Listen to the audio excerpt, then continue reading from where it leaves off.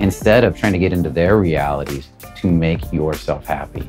Don't chase women to make you happy. Get happy first and then invite women into your life.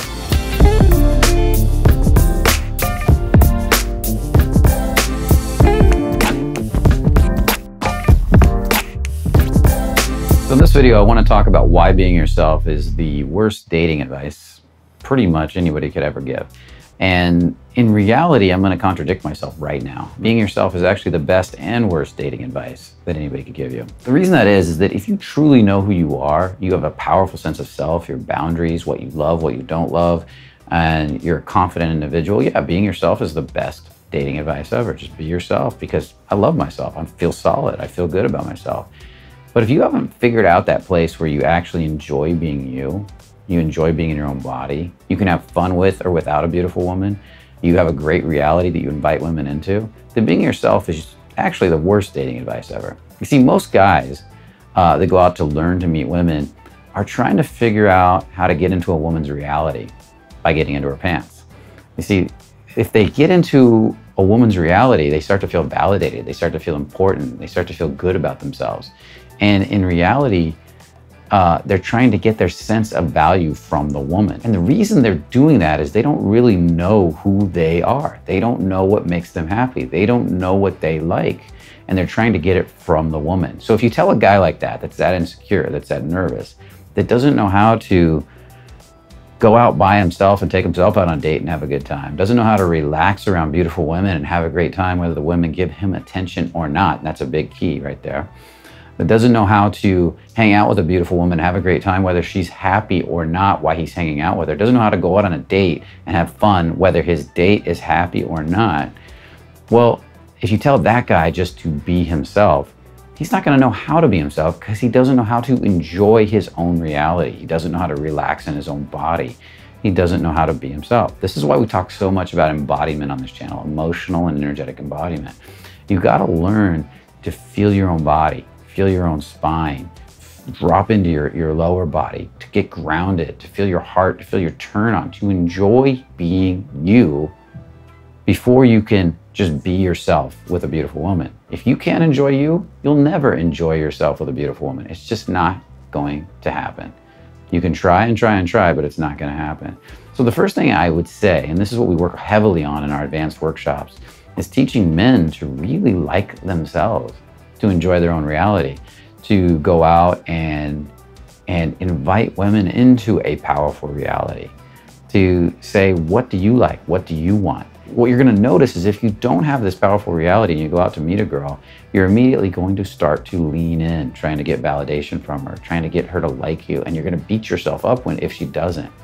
You see, you're going to get rejected a lot even guys that are good with girls get rejected a lot. They just don't notice it. They don't care. They don't take it personal. It's unimportant. It's all fun and, and, games. They don't. It doesn't really matter. But guys that are bad with women, every time they get rejected, it's a. It's like they're either angry at the women, angry at themselves, angry at life. They take it all personal, and that's an indication that you really don't know how to enjoy you. If you need her to like you, to enjoy you, you still haven't figured that out. So I want to invite you into this idea that it's time to start, in a weird sort of way, dating yourself. Take yourself out. Figure out what you like. Figure out what you want. Find hobbies, things you love to do that are separate from women, that are your personal passions. Figure out um, how to just sit and be with yourself. Meditation, yoga, how to uh, feel your own body. If you can get into actual embodiment where you're learning to relax into your own body and just be, being able to look at a painting and see the beauty in it, being able to listen to music and just enjoy the music and figure out what makes you happy. And then once you've got that, once you've got that figured out, I want to invite you to start to slowly invite people into those realities. Talk about those realities when you go out. Connect with people through those realities. Invite people into them instead of trying to get into their realities to make yourself happy. Don't chase women to make you happy. Get happy first and then invite women into your life. That's the real key.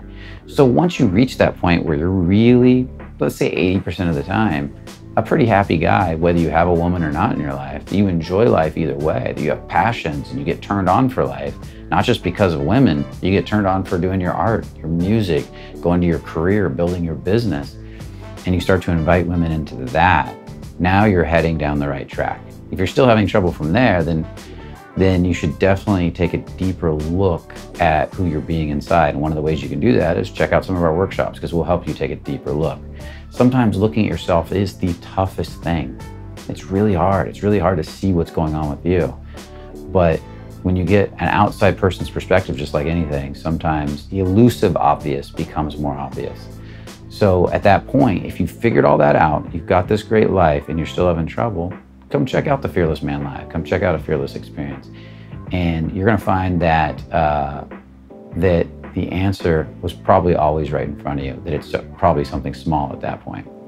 So get out there, learn to love yourself. Take yourself out on some dates. Take yourself out and have some adventures. Figure out your life. Start to enjoy it, and then start to invite women into it. And what I would like you guys to do is comment below what is it that you love to do? What is it that you're you've been maybe obsessing over women and you've walked away from? Maybe you love music and the guitar and you haven't picked it up in months because you're out trying to meet women every night and you're finding yourself getting more and more reactive chasing girls. Maybe you need to take a little more time with the guitar. Maybe you love going to the gym and you stop going to the gym. Maybe you need to take a little more time with the gym. Take a little time for you. What about taking yourself out on a nice dinner? I mean, one of the first things I ever read was a book called Feeling Good by a man named Burns. And the, one of the first things I ever did from that book was dress myself up and take myself to a nice restaurant for myself, by myself. Why? Because if I won't treat myself as an important individual, why would a woman? I took myself out to learn to love myself. And then I invited women into that reality. So comment below, what are you doing to love yourself? What are you doing to care for yourself? And, uh, and if you like the video, make sure to hit that like button. It's really important to us. It helps us to grow the channel, helps us to put out more videos for you. And make sure to subscribe if you haven't subscribed yet, and make sure to hit that notifications button so you don't miss a single video. And with that said, remember, only the confident really live. See you in the next video.